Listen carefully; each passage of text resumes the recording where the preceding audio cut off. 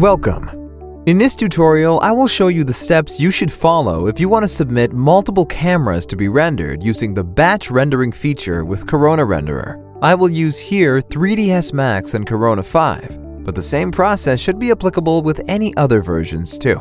Let's open the Render Setup and check our render settings. Under the Render Elements tab, notice that we have multiple passes. Batch rendering will save those for each camera separately. Moving to the Scene tab, we can set the quality settings. Please refer to our previous video for further info about Corona rendering and Rebus Farm submitting. For now, we will set the noise threshold to 5.0 and make sure denoising is enabled. After that, move to the Common tab to set the output name and rendering format. Under the Render Output section, make sure Save File is checked. Then press Files. In our case, we will use JPEG, but feel free to use any other format. When all is set, press Save. You can close the Render Setup dialog. Now we are ready to submit the job. From the Rebus Farm toolbar, press Render Now to open Rebus Farminizer Setup. Make sure to check Activate Batch Render. Then press Setup Batch Render. A batch render window will open where we can add all our cameras press Add to add our first camera.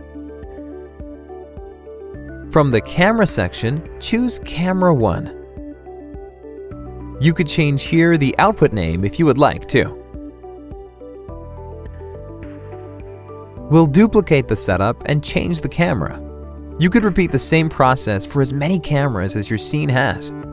Also note that you could override the rendering frame range and the resolution for each camera differently.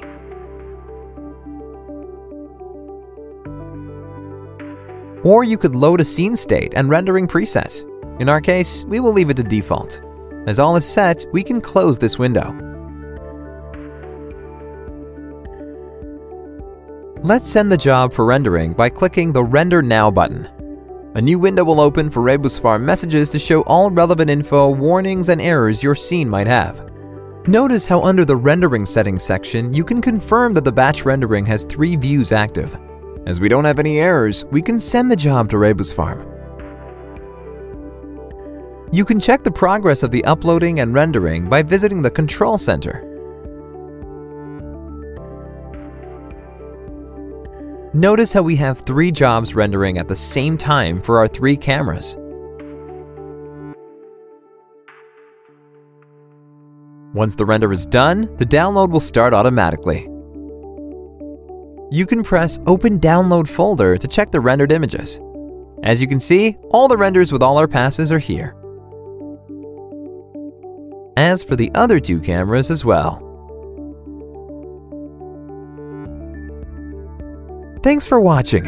If you found this video helpful, please consider giving us a thumbs up. If you have any questions, please let us know in the comment section.